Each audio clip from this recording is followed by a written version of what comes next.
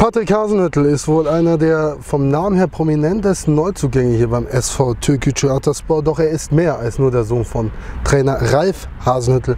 Patrick Hasenhüttel hat auch schon eine beeindruckende Karriere hinter sich, war bei Unterhaching und war beim VfB Stuttgart, ehe es ihn letzte Saison noch oder bis er ehe letzte Saison noch beim FC Ingolstadt spielte. Dann unglücklich Abstieg und jetzt hier eine neue Herausforderung starten möchte. Herr Hasenhüttel, schönen guten Tag. Freut mich, hallo. Ich freue mich auch, dass Sie hier sind. Ja, Türkgücü Ataspor, neuer Verein, neue Adresse, neues Glück. Was sind so die Gründe für den Wechsel? Ja, ähm, erstmal, dass ich hier das Gefühl, äh, Gefühl habe, dass hier was, dass hier was entsteht. Ähm, ich hatte ein paar Optionen jetzt. Ich wollte unbedingt den nächsten Schritt machen, ähm, nachdem ich jetzt seit drei Jahre lang in der zweiten Mannschaft gespielt habe. Und ja, ich hatte das Gefühl gehabt, dass ich hier dass es hier möglich ist, für mich den nächsten Schritt zu machen. Erstmal eine Herrenmannschaft für mich. Ähm, ja, ich glaube, dass wir diese Saison eine gute Rolle spielen können und deswegen war das für mich von Anfang an ähm, eine super Adresse. Die Vorbereitung ist jetzt im vollen Gange. Man merkt Regionalliga, jeder hat Bock. Klar, für Sie ist die Liga jetzt nicht neu. Im Juli geht's los. Welchen Eindruck haben Sie jetzt so von der Mannschaft gewinnen können und auch vom Trainer von der Mauer? Bisher alles positiv. Ähm, also man merkt schon, hier wurde sehr viel Qualität geholt, also sehr viele gute Spieler.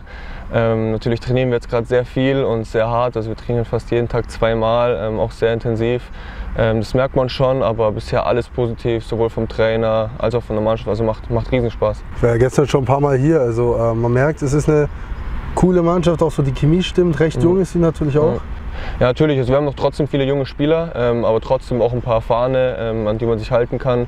Ähm, aber es ist eine gute Mischung da und ich glaube, jeder, jeder fühlt sich sehr wohl. Sehr wohl haben Sie sich ja, glaube ich, auch in Ingolstadt gefühlt, ehe es ja diesen bitteren Gang gab. Man hat äh, den Klassenhalt sportlich geschafft. Allerdings wissen wir, wie die Regeln sind. Wenn die erste Mannschaft absteigt, dann muss die zweite Mannschaft auch eine Liga tiefer gehen.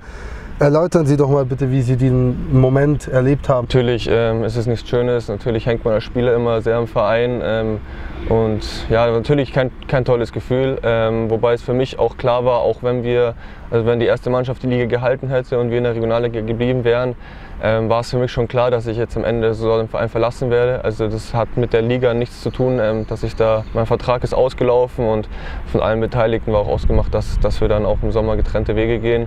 Aber natürlich tut es einem trotzdem weh, wenn, wenn dann sein Verein absteigen muss und ja, das ist natürlich nicht so toll. Toll ist auch nicht, was da in den sozialen Netzwerken los ist, gerade wenn es um Türkgücü oder RB Leipzig geht. Es sind sehr viele Kommentare, die unter der Gürtellinie sind. Es ist vor allem auch von vielen Leuten der Neid, da ja Türkgücü eben doch mehr finanzielle Mittel hat als äh, andere Vereine hier in der Regionalliga. Da kommt sehr viel Kritik auf. Auch bei RB Leipzig war das so. Welche Vergleiche sehen Sie jetzt zu RB? Boah, das ist jetzt ein bisschen hochgegriffen. Also die sind jetzt natürlich schon ganz oben, da wo jeder, Vergleich, äh, jeder Verein mal hin will. Ähm, aber natürlich entsteht hier auch gerade was. Ähm, es wurden super Spieler geholt, aber ich glaube, jetzt ist schon mit RB Leipzig zu vergleichen, ist ein bisschen hochgegriffen. Aber natürlich wäre es schön, wenn dieser Verein da auch mal hinkommt, wo Leipzig jetzt ist. Aber ich glaube, dafür ist es jetzt noch ein bisschen zu früh. Eigentlich wollte ich auch darauf hinaus, dass Ihr Vater da ja Trainer war. Ja, aber jetzt ist er es ja nicht mehr. Jetzt ist er in Southampton unter Vertrag und mit denen hat er jetzt den Klassenhalt feiern können.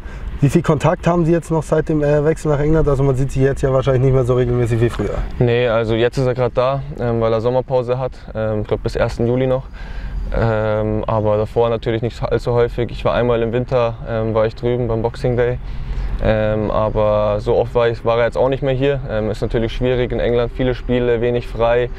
Ähm, aber hin und wieder sehen wir uns schon noch und wir haben auch telefonisch immer Kontakt, tauschen uns oft aus und ja, es passt alles. Welche Vergleiche sehen Sie so zu Ihrem Vater? Also beide sind Sie oder waren Sie Mittelstürmer? Nee, also natürlich von der, von der, allein von der Körpergröße und von der Spielweise ähm, gibt es natürlich schon viele Parallelen. Also er war auch groß, Mittelstürmer, ähm, jetzt nicht der allzu filigranste Techniker, das, das bin ich jetzt auch nicht. Ähm, aber natürlich vom Spielstil ähm, her kann man, schon, kann man schon gut vergleichen. Das heißt, ähm, oder welche Unterschiede sehen Sie da auch noch? Also äh, nicht nur Vergleiche, sondern auch wo, wo sind Sie komplett anders?